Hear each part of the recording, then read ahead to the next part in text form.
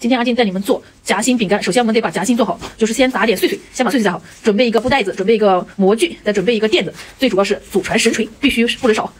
然后我们把它砸开，再给它装到布袋子里，给它砸碎。现在开始砸。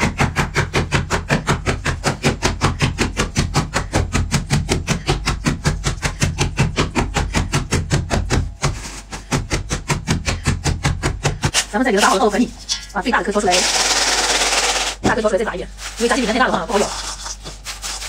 好了，细碎砸好了，这就是砸好过的。等一下做夹心了，现在我们准备纯冰，把纯冰做好。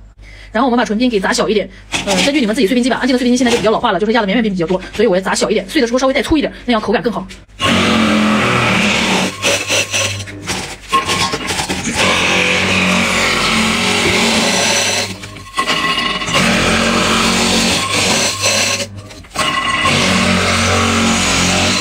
然后我们给它倒到这个抽屉里，先把它码平。给它码平了之后，我嗯，咱们可以放上刚才搞的碎碎，就是夹心。我们再把刚才砸的碎碎给它倒到中间，都倒上。然后我们再把它铺平，上面再盖上一层纯冰，做好了以后就是夹心饼干了。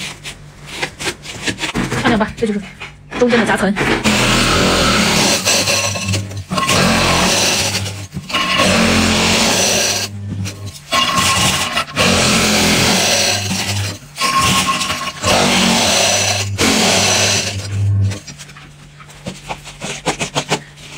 然后我们把最后一层白色倒上，然后它就是三层的夹心饼干了。把它按压一下啊，按压一下，让它冻在一起是最好的，要不然都不成块了，知道吗？